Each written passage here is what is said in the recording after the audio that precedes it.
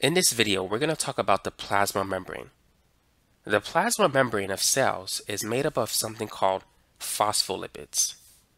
And here is a typical structure of a phospholipid.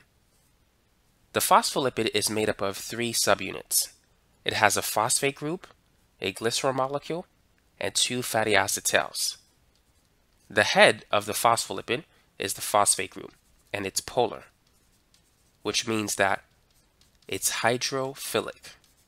Hydro means water, phil means love, so it loves water.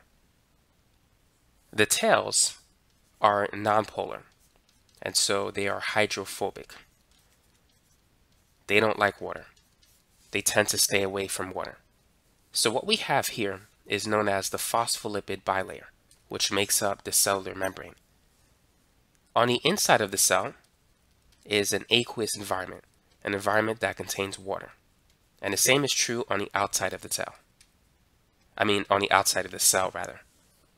Notice that the heads of the phospholipids are oriented in such a way that they're facing water. It's because that they're polar. They're attracted to it.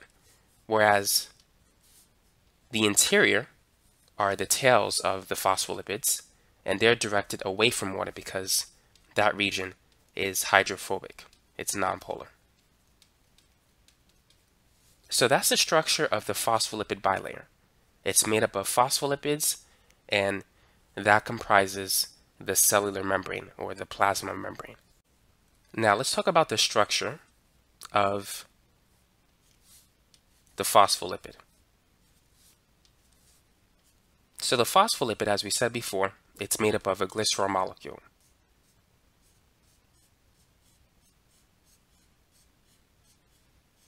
And it contains two fatty acid nonpolar tails.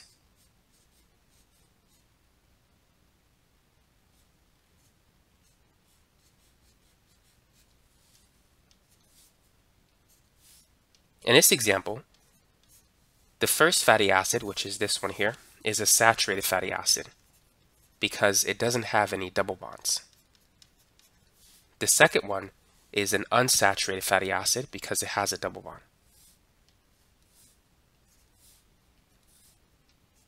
Now the third part is the phosphate group.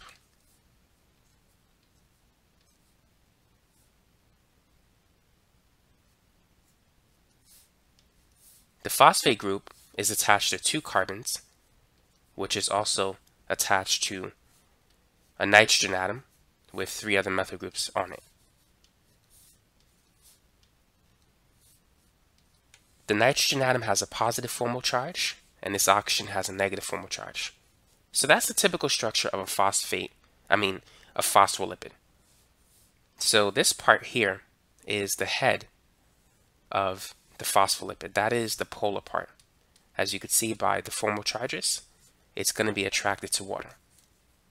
So it has a phosphate group, two carbons, and a trimethyl amine group. Well, this is technically an ammonium group since there's four carbons attached to that nitrogen atom. And these two fatty acid chains that are part of the phospholipid, that is the hydrophobic part of the molecule. So those are the two tails. That's the part that is oriented away from water. And in the middle, we have a glycerol molecule.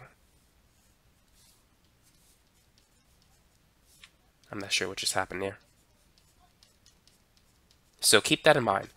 The phospholipid is composed of a phosphate group, a glycerol molecule, and two fatty acid chains. The plasma membrane of a cell is described by the fluid mosaic model.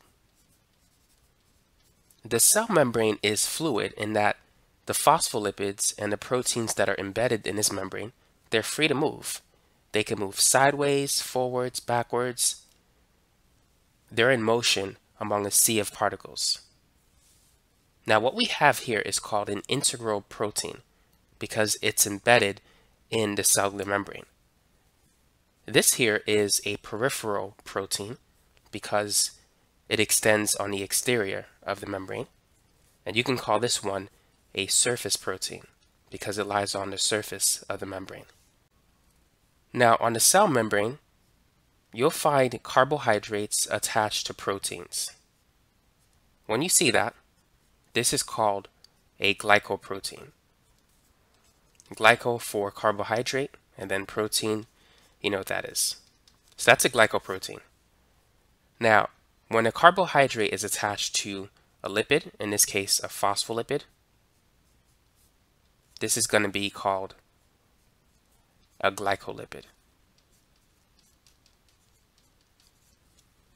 Now on the cell membrane, cholesterol can also be found in it. Cholesterol has a hydroxyl group represented in blue, and it has four fused rings. So that's a typical representation of cholesterol. The purpose of cholesterol on the cell membrane is to maintain the fluidity of the membrane. When the temperature goes down, the membrane will become rigid. The phospholipids will move closer to each other as the temperature decreases. So the fluidity of the membrane decreases. Cholesterol acts to increase the fluidity. So as these phospholipids move closer to each other under colder conditions, cholesterol acts as a spacer, keeping them pushed apart. Now, when the temperature rises, the membrane can become too fluid, so cholesterol acts in such a way to decrease the fluidity of the membrane. So it keeps the phospholipids together when the temperature rises. So the purpose of cholesterol is to maintain the fluidity of the membrane. It prevents it from being too rigid and it keeps it from being too fluid. So that's the basics of the plasma membrane of a cell. There's more to talk about it, but I just want to give you a brief introduction into it.